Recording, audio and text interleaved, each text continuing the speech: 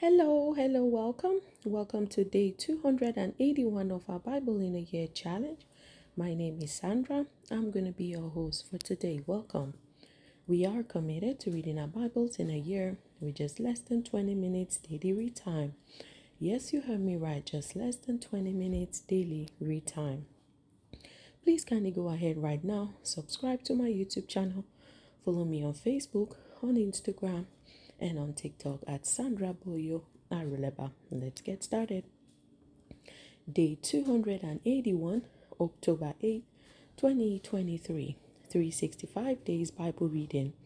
Old Testament, Jeremiah 16, Jeremiah 17. New Testament, Colossians 4, 1 to 18. Psalms and Proverbs, Psalm 118, verse 17 to 29. Old Testament NIV version Jeremiah 16 1 to 21 Day of Disaster. Then the word of the Lord came to me You must not marry and have sons or daughters in this place. For this is what the Lord says about the sons and daughters born in this land, and about the women who are their mothers and the men who are their fathers. They will die of deadly diseases. They will not be murdered they will not be mourned or buried, but will be like dung lying on the ground. They will perish by sword and famine, and their dead bodies will become food for the birds and the wild animals. For this is what the Lord says Do not enter a house where there is a funeral meal. Do not go to mourn or show sympathy, because I have withdrawn my blessing, my love, and my pity from this people, declares the Lord.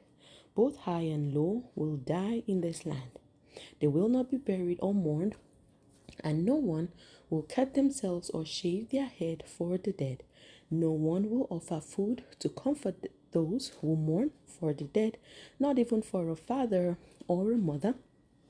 Nor will anyone give them a drink to console them. And do not enter a house where there is feasting and sit down to eat and drink.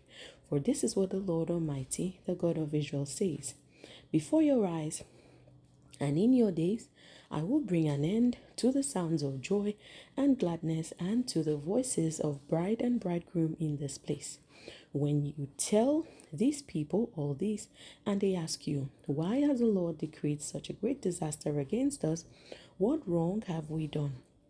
What sin have we committed against the Lord our God? Then say to them, It is because your ancestors forsook me, declares the Lord, and followed other gods and served and worshipped them.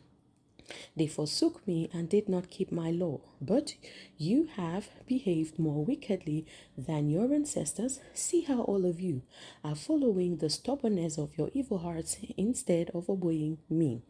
So I will throw you out of this land into a land neither you nor your ancestors have known. And there you will serve other gods day and night, for I will show you no favor. However, the days are coming, declares the Lord, when it will no longer be said, As surely as the Lord lives, who brought the Israelites up out of Egypt, but it will be said, As surely as the Lord lives, who brought the Israelites up out of the land of the north and out of all the countries where he had banished them.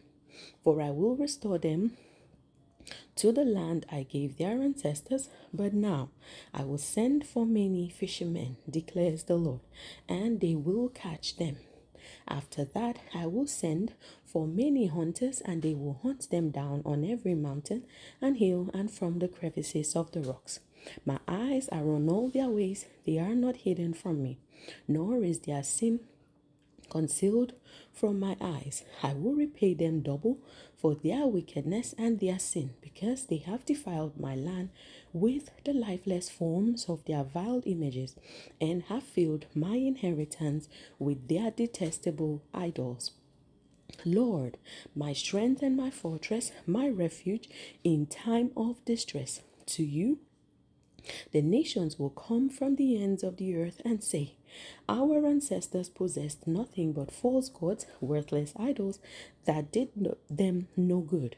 Do people make their own gods? Yes, but they are not gods. Therefore, I will teach them.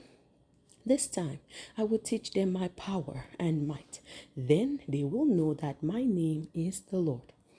Jeremiah 17 1 to 27.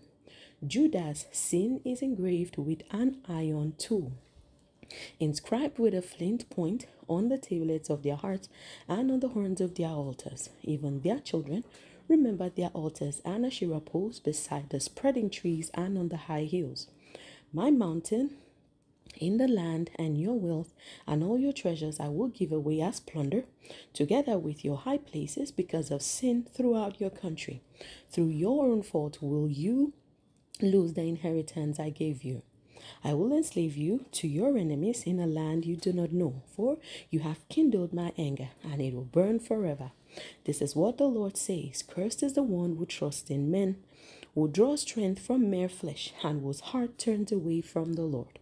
That person will be like a bush in the wastelands. They will not see prosperity when it comes. They will dwell in the parched places of the desert, in a salt land where no one lives. But blessed is the one who trusts in the Lord, whose confidence is in him. They will be like a tree planted by the water that sends out its roots by the stream. It does not fear when heat comes. Its leaves are always green. It has no worries in a year of drought and never fails to bear fruit.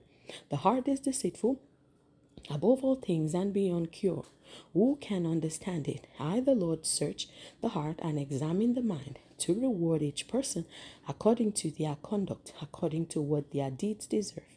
Like a partridge that hatches eggs it did not lay, or those who gain riches by unjust means. When their lives are half gone, their riches will desert them, and in the end they will prove to be fools. A glorious throne exalted from the beginning is the place of our sanctuary. Lord, you are the hope of Israel. All who forsake you will be put to shame. Those who turn away from you will be written in the dust because they have forsaken the Lord, the spring of living water. Heal me, Lord, and I will be healed. Save me, and I will be saved. For you are the one I praise. They keep saying to me, Where is the word of the Lord? Let it now be fulfilled. I have not run away from being your shepherd. You know, I have not desired the day of despair. What passes my lips is open before you.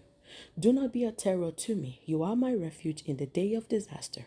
Let my persecutors be put to shame. But keep me from shame. Let them be terrified, but keep me from terror. Bring on them the day of disaster. Destroy them with double destruction. Keeping the Sabbath day holy. This is what the Lord said to me Go and stand at the gate of the people through which the king of Judah go in and out. Stand also at all the other gates of Jerusalem.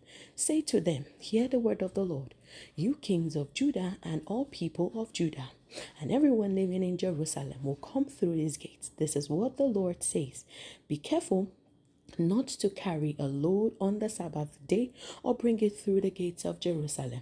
Do not bring a load out of your houses or do any work on the Sabbath.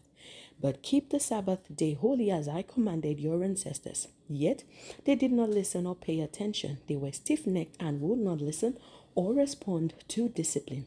But if you are careful to obey me, declares the Lord, and bring no load through the gates of the city on the Sabbath, but keep the Sabbath day holy by not doing any work on it, then kings will sit on David's throne, will come through the gates of the city with their officials.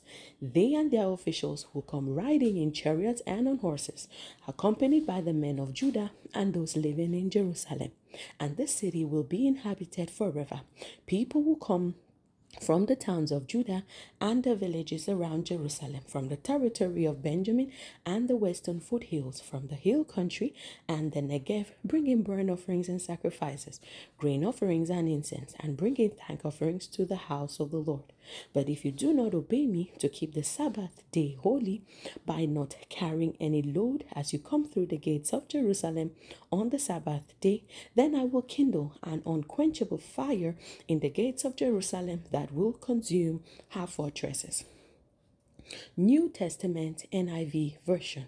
Colossians 4 1 to 18. Masters, provide your slaves with what is right and fair, because you know that you also have a master in heaven. Further instructions Devote yourselves to prayer being watchful and thankful, and pray for us too, that God may open a door for our message so that we may proclaim the mystery of Christ, for which I am in chains. Pray that I may proclaim it clearly as I should. Be wise in the way you act toward outsiders. Make the most of every opportunity. Let your conversation be always full of grace, seasoned with salt, so that you may know how to answer everyone. Final greetings. Tychicus will tell you all the news about me. He is a dear brother, a faithful minister, and fellow servant in the Lord. I am sending him to you for the express purpose that you may know about our circumstances and that he may encourage your heart. He is coming with Onesimus, our faithful and dear brother, who is one of us. They will tell you everything that is happening here. My fellow prisoner, Aristarchus sends you his greetings, as does Mark, the cousin of Barnabas. You have received instructions about him. If he comes to you, welcome him. Jesus, who is called Justus, also sends greetings. These are the only Jews among my co workers for the kingdom of God, and they have proved a comfort to me. Epaphras, who is one of you and a servant of Christ Jesus, sends greetings. He is also wrestling in prayer for you, that you may stand firm in all the will of God, mature and fully assured. I vouch for him that he is working hard for you and for those at Laodicea and here Hierapolis. Our dear friend Luke, the doctor and Demas send greetings. Give my greetings to the brothers and sisters of Laodicea and to Nympha and the church in her house. After this letter has been read to you, see that it is also read in the church of the Laodiceans and that you in turn read the letter from Laodicea. Tell Archippus, See to it that you complete the ministry you have received in the Lord. I, Paul, write this greeting in my own hand. Remember my chains. Grace be with you. Psalms and Proverbs, Psalm 118, verse 17 to 29. I will not die but live and will proclaim that the Lord, what the Lord has done. The Lord has chastened me severely, but he has not given me over to death. Open for me the gates of the righteous, I will enter and give thanks to the Lord. This is the gate of the Lord through which the righteous may enter. I will give thanks for you answered me. You have become my salvation. The stone the builders rejected has become the cornerstone. The Lord has done this, and it is marvelous in our sights.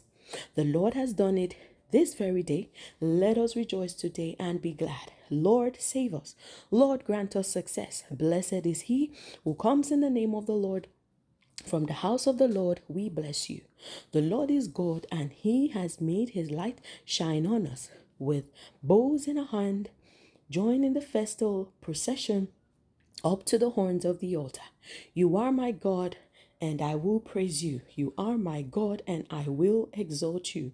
Give thanks to the Lord, for he is good. His love endures forever. Hallelujah. Amen. Glory to God. Please, if you're here and you would like to make Jesus your personal Lord and Savior, kindly repeat this prayer after me, believing in your heart every single word you say.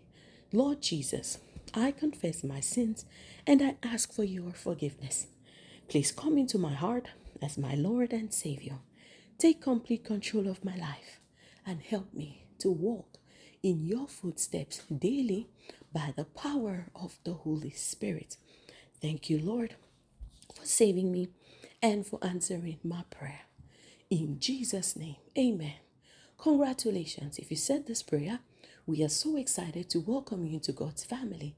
Kindly go ahead right now. Send us an email. Let us know you gave your heart to Christ. Someone is going to reach out to you and pray with you and help you in your new walk of faith. The email address is salvation in Christ 101 at gmail.com. That is salvation in Christ 101 at gmail.com. God bless you. Please remember to subscribe to my YouTube channel Follow me on Facebook, on Instagram, and on TikTok at Sandra Boyo Aruleba. Thank you so much for being here again today. It's always a pleasure having you here. I look forward to another amazing day with you tomorrow. Have a blessed day today. I love you. Bye.